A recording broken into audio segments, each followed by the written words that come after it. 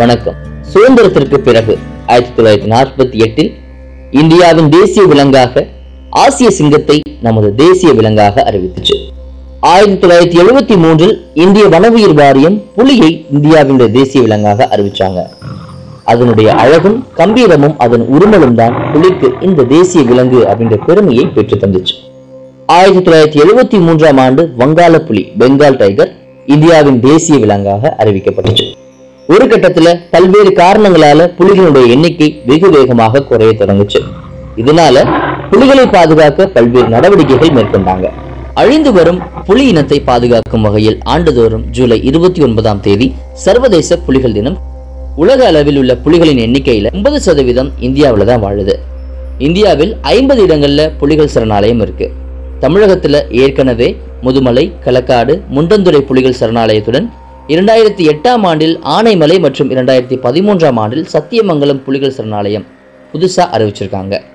இந்த ரெண்டு புதிய சரணாலயங்களும் அறிவிக்கப்படுவதற்கான ஆதாரங்களை அறிவியல் பூர்வமாக திரட்டி ஆய்வுகளை மேற்கொண்டு அரசுக்கு அறிக்கை அளித்த திருச்சி பல்லுயிரி பாதுகாப்பு அறக்கட்டளை விஞ்ஞானி குமரகுரு என்ன சொல்லியிருக்காங்க அப்படின்னா இந்தியாவில் இரண்டாயிரத்தி பதினான்காம் ஆண்டில் இரண்டாயிரத்தி இருநூற்றி இருபத்தி ஆறாக இருந்த புலிகளுடைய எண்ணிக்கை இரண்டாயிரத்தி பதினெட்டாம் ஆண்டில் இரண்டாயிரத்தி தொள்ளாயிரத்தி அறுபத்தி ஏழாக உயர்ந்திருக்கு. நம் நாட்டில் உள்ள மொத்த புலிகளுடைய எண்ணிக்கையில் மூன்றில் ஒரு பங்கு தமிழகம் மற்றும் தென் மாநிலங்களில் இருக்கிறதா சொல்லியிருக்காரு. ஆனைமலை இந்திரா காந்தி வன உயிரின சரணாலயம் மற்றும் தேசிய பூங்காவில் புலிகளுடைய எண்ணிக்கையை கண்டறிவதற்காக இரண்டாயிரத்தி ஐந்தாம் ஆண்டில் ஆய்வு மேற்கொண்டிருக்காங்க. அப்போ புலிகளுடைய காலடி தடம் மற்றும் கேமரா பதிவு இதன் மூலமாக கணக்கெடுப்பு பணி மேற்கொள்ளப்பட்டுச்சு. அப்போ டிஜிட்டல் கேமரா கிடையாது. அதனால ஃபிலிம் கேமரா தான் இருந்திருக்கு. ரொம்ப கஷ்டமான பணியாக இருந்திருக்கு அப்படின்னு தன்னுடைய அனுபவத்தை சொல்லியிருக்காரு. இருப்பினும் விடாமுயற்சியுடன் செய்து புலிகளின் எண்ணிக்கை கணிசமான அளவுக்கு இருப்பதை உறுதி செஞ்சிருக்காங்க. அந்த அறிக்கையை தொடர்ந்து தான் ஆனைமலை புலிகள் சரணாலயத்தை இரண்டாயிரத்தி எட்டாம் ஆண்டில் அரசு அறிவிச்சிருக்காங்க. அதே போன்று சத்தியமங்கலம் வன உயிரின சரணாலயத்தில் புலிகளின் கணக்கெடுப்பை இரண்டாயிரத்தி ஒன்பதாம் ஆண்டில் மேற்கொண்டிருக்காங்க. இந்த சரணாலயத்தை ஒட்டிய காப்பு காடுகளிலும் புலிகள் வாழ்ந்து வருவது தெரிய வந்துடுச்சு இங்கு புலிகளுடைய எச்சத்தை கொண்டு டிஎன்ஏ பரிசோதனை மூலமாக புலிகளின் எண்ணிக்கையை கணக்கிட்டாங்க. இது நல்ல பலனை தந்துச்சு. இதைத் தொடர்ந்து ஐநூற்று நாற்பத்தி ஐந்து சதுர கிலோமீட்டர் பரப்பளவில் இருந்த வன உயிரின சரணாலயம் ஆயிரத்தி நானூற்று பதினொன்று புள்ளி ஆறு சதுர கிலோமீட்டர் பரப்பளவு கொண்ட சத்தியமங்கலம் புலிகள் சரணாலயமாக மாற்றி இரண்டாயிரத்தி பதிமூன்றாம் ஆண்டில் அரசு அறிவிச்சிச்சு. தமிழகத்தில் உள்ள நான்கு புலிகள் சரணாலயங்களில் இரண்டாயிரத்தி ஆறாம் ஆண்டில் எழுபத்தி ஆறாக இருந்த புலிகளுடைய எண்ணிக்கை இரண்டாயிரத்தி பதினெட்டாம் ஆண்டில் இருநூற்று அறுபத்தி நான்காக உயர்ந்திருக்கு. இதில் சத்தியமங்கலத்தில் மட்டுமே ஏறத்தாழ தொண்ணூறு புலிகள் வாழ்ந்ததா சொல்றாங்க. சர்வதேச புலிகள் தினம் இன்று கடைபிடிக்கும் நிலையில் தமிழக வனப்பகுதிகளில் புலிகள் எண்ணிக்கை அதிகரித்து வருவது தெரிய வந்துள்ளது இதனால் வனப்பரப்புகள் சுருங்குவதால் புலிகள் நெருக்கடியை எதிர்கொள்வதாகவும் இதை தவிர்க்க வனப்பகுதிகளை அழியாமல் பாதுகாக்க வேண்டும் எனவும் தேசிய புலிகள் பாதுகாப்பு நிறுவனம் தெரிவிச்சிருக்கு. இந்தியாவின் தேசிய விலங்கான புலிகளை பாதுகாக்கவும் அவற்றின் எண்ணிக்கையை பெருக்கவும் உலக அளவில் பெரும் முயற்சிகள் மேற்கொள்ளப்படுது.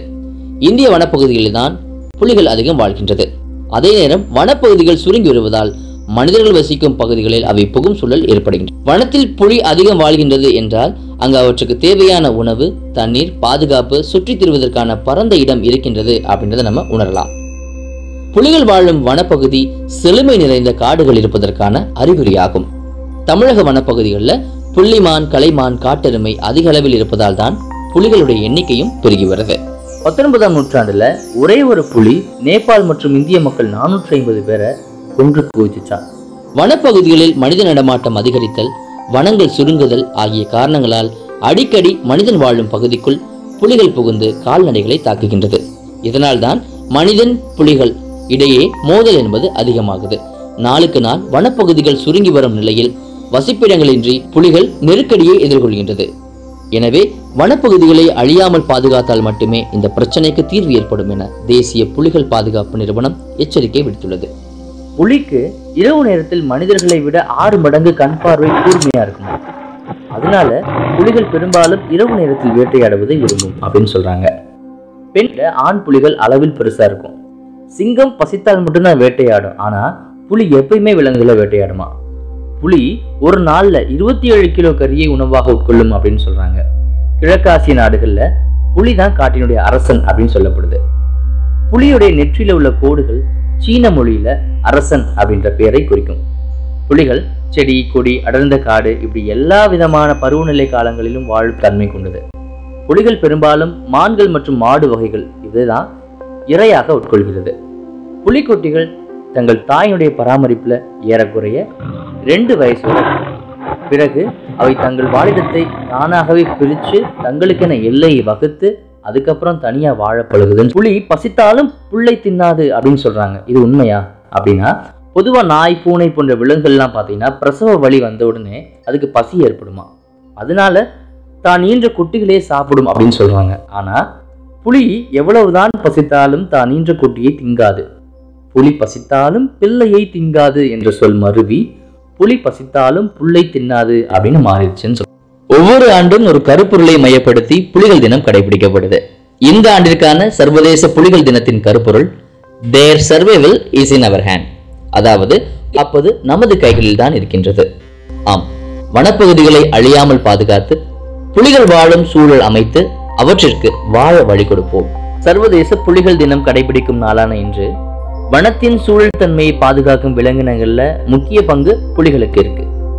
வனத்துக்குள் செல்லும் போது தடை செய்யப்பட்ட பொருட்களை கொண்டு செல்லாமலும் வன உயிரினங்களை அச்சுறுத்தாமலும் இருக்க வேண்டும்.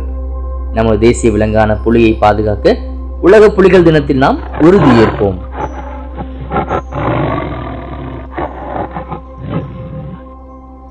இந்த வீடியோ உங்களுக்கு பிடிச்சிருந்துச்சுன்னா லைக் பண்ணுங்க ஷேர் பண்ணுங்க கமெண்ட் பண்ணுங்க. இதுவரை நம்ம யூடியூப் சேனலை சப்ஸ்கிரைப் பண்ணாதங்க சப்ஸ்கிரைப் பண்ணுங்கள் நன்றி.